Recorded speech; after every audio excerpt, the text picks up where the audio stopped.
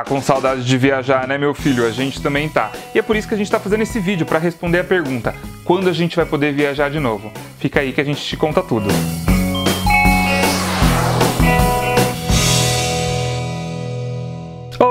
Olá pessoal! Olha só, a gente começando um novo dia e dessa vez já pensando no futuro. Afinal, férias de julho chegando, um monte de país aí voltando ao novo normal e tem até parque de diversão com data de reabertura. Então a pergunta do milhão é: quando a gente vai poder viajar de novo, claro que é impossível hoje em dia você dar uma data específica para isso, mas já existem várias notícias e informações do turismo rolando pelo mundo que dão um grande panorama aí do que, que nos espera no futuro. Então, claro, deixa seu like nesse vídeo, se inscreve no nosso canal e compartilha com os amigos também, porque tem muita gente querendo viajar e esse vídeo vai ajudar você a se planejar e saber o que, que te espera. Então vamos lá. A primeira coisa que você precisa saber é que enquanto não houver uma vacina contra o coronavírus, o turismo nunca mais vai ser o mesmo. E infelizmente, esse é um sonho distante ainda. Mais do que isso, a Organização Mundial de Saúde já disse que pode ser que essa doença seja endêmica, ou seja, que ela nunca vai embora. Então, precauções e a forma de viajar com certeza vão mudar completamente daqui para frente.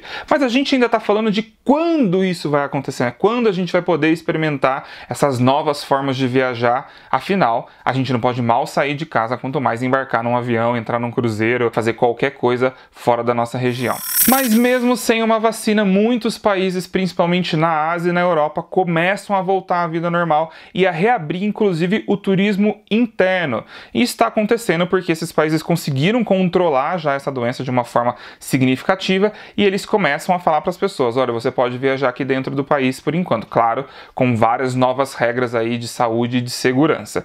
E aí a gente começa a olhar para esses países para saber o que pode acontecer com a gente. Muitos países europeus começaram a reabrir para o lazer e para o turismo interno dois meses depois que a curva de contaminação atingiu o pico, mas ainda não há plano nenhum para reabrir o turismo externo. O que se sabe é que isso não vai acontecer com pelo menos quatro meses desde o pico dessa contaminação. Como exemplo, a Itália e a Espanha tiveram um pico de contaminação no final de março e começaram a reabrir o país e aí o lazer e o turismo interno somente no final de maio. Esse é um exemplo que a gente pode seguir porque a gente está vendo como o mundo está se adequando né, a essa doença para saber como a gente vai também fazer aqui no nosso país, pelo menos é o que se espera. Poucos países como Grécia e República Tcheca pensam em reabrir o turismo pelo menos para a União Europeia agora em junho já, mas também vão ter várias regras e inclusive se estuda testar todos os turistas que chegarem ao país, aquele teste rápido. Mas ao mesmo tempo que esses países conseguiram provar que dá para controlar essa doença e conseguiram controlar,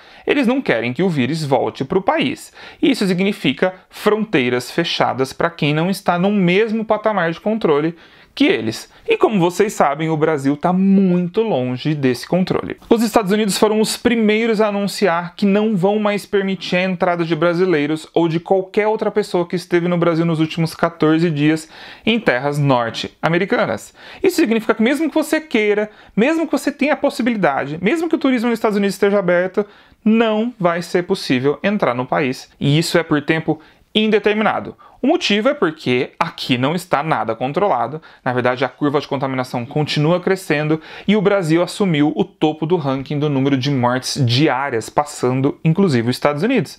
Então o país vetou a nossa entrada, falando que assim, a gente não quer a recontaminação, então não se entra mais brasileiro. Claro que existem algumas regras, quem é morador, quem é casado com um morador ou norte-americano, enfim, mas basicamente a grande população não pode mais ir. E os Estados Unidos são só o primeiro. A chance disso acontecer cada vez mais com outros países é enorme, porque muitos estudos apontam que o Brasil vai se tornar o epicentro da doença. E se isso realmente se confirmar, a gente não vai ser bem-vindo praticamente em lugar nenhum do mundo. E limpar essa imagem vai demorar muito tempo. A única coisa interessante da Europa reabrir o turismo antes do Brasil é que a gente vai poder analisar o comportamento de como as coisas vão funcionar por lá, né? Será que os números de casos vão aumentar? Vai ter uma nova recontaminação? Mais do que isso, né? Quais são os procedimentos de segurança que são fundamentais, aqueles que dão certo, aqueles que não dão? Então isso é uma coisa que todos os outros países, inclusive o Brasil, devem ficar de olho para saber como implantar de novo o turismo, mesmo que seja gradativamente. Uma coisa que se espera do turismo é que provavelmente se esses países não não tiverem testes para fazer nos turistas assim que eles chegarem no país, eles podem exigir uma quarentena de 14 dias. Então já se sabe que o turismo externo vai voltar de uma forma muito lenta, porque ninguém vai querer viajar para ficar 14 dias trancado dentro do hotel. Isso não faz o menor sentido. Apesar dos países europeus terem um comportamento muito parecido em relação ao turismo, na Ásia a situação é bem diferente. Cada país está adotando uma medida bem única. A Tailândia, por exemplo, já falou que fica fechada pelo menos até o final de junho. A Indonésia não abre antes de outubro e a Índia continua no lockdown total sem qualquer previsão de reabertura. Então a Ásia é uma situação bem peculiar porque os países eles estão em fases diferentes de contaminação. É diferente da Europa, que estava todo mundo meio que caminhando junto e chegaram ao pico da curva meio que junto também. Na Ásia, cada país está passando de uma forma. Inclusive o Japão vai começar com uma campanha muito grande, já se espera isso, para voltar ao turismo, visto que tem as Olimpíadas programadas para o ano que vem. Então, o Japão vai começar esse turismo interno e tentar também limpar essa imagem aí, mostrar que o país está seguro para receber o maior número de turistas, já que você tem um evento do porte de umas Olimpíadas para acontecer o ano que vem. As principais companhias aéreas brasileiras já informaram que elas estão de olho principalmente no mercado chinês. Afinal, foi o primeiro país que começou a voltar ao normal e onde o turismo interno reabriu aos poucos. Na verdade, os CEOs da Azul da Gol e da Latam, eles participaram todos juntos de uma live para falar justamente do mercado e todos foram unânimes. O turismo vai voltar em três etapas.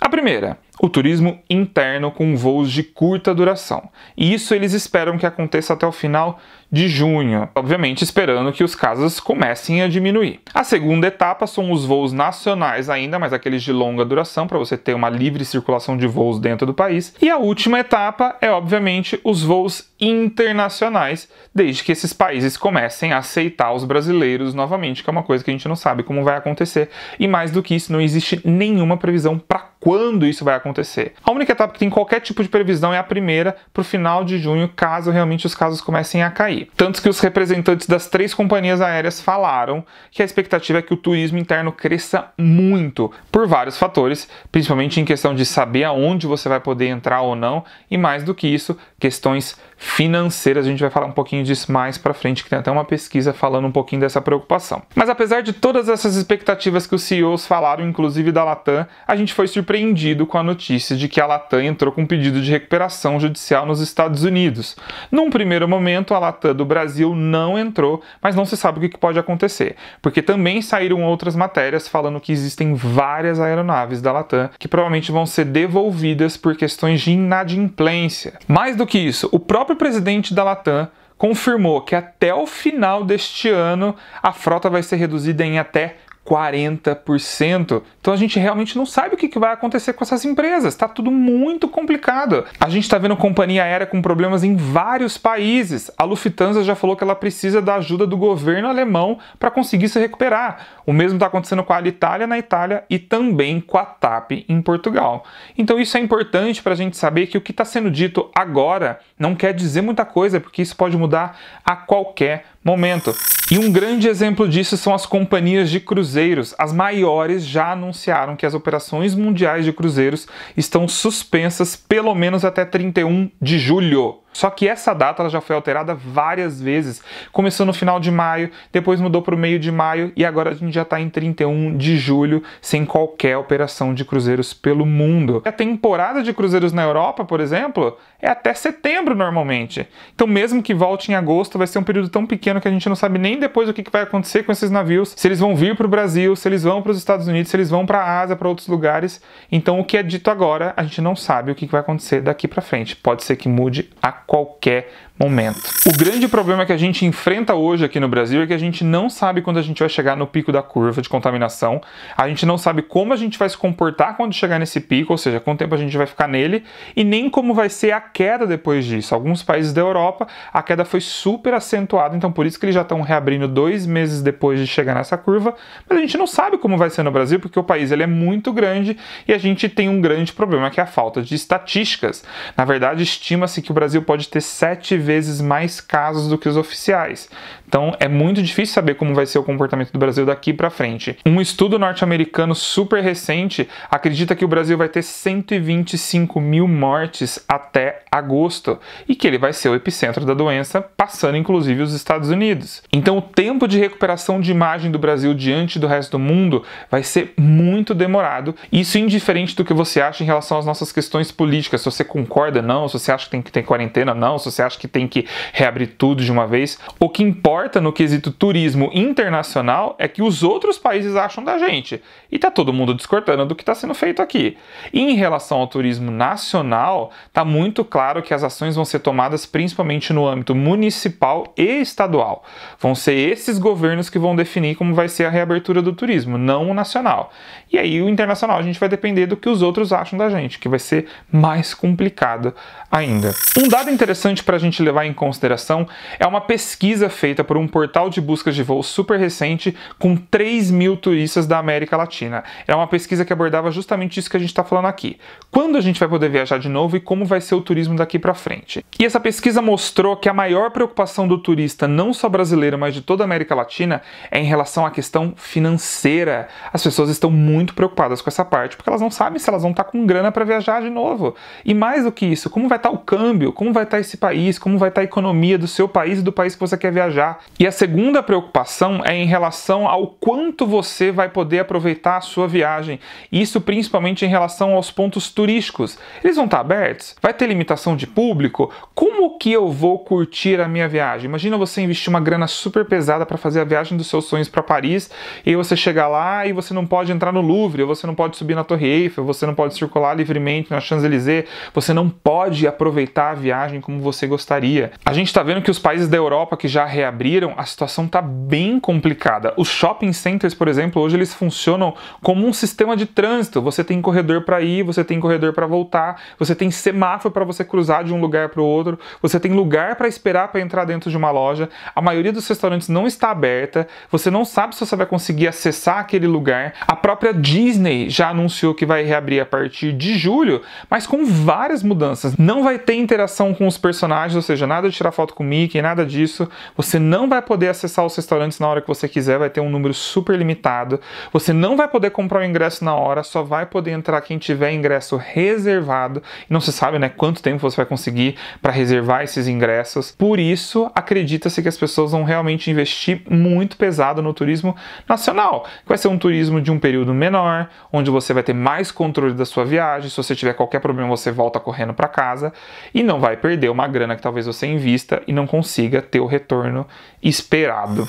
E outros dados que a gente pode levar em consideração também para saber como vai ser o funcionamento do turismo daqui para frente é como as grandes empresas estão se comportando, porque afinal elas têm equipes gigantescas por trás delas analisando tudo para saber quando vai ser seguro voltar. E a Globo, por exemplo, já anunciou que ela vai retomar as gravações das novelas a partir do dia 3 de agosto. Ou seja, ela só considera que a partir de agosto as coisas vão estar boas suficientes para você ter uma vida normal que seja ali na sua cidade, né? no caso da Globo, no Rio de Janeiro. Então a gente começa a entender que, por exemplo, para ir para o Rio de Janeiro, se uma empresa do porte da Globo não considera viável antes disso, para o turismo também isso não vai acontecer. E especialistas do mercado apontam que o turismo nacional realmente só vai ser possível de você aproveitar de uma forma legal mesmo a partir de setembro deste ano. Então esse é um dado que está se levando muito em consideração no mercado para as coisas estarem finalmente entrando no eixo para você fazer o turismo interno.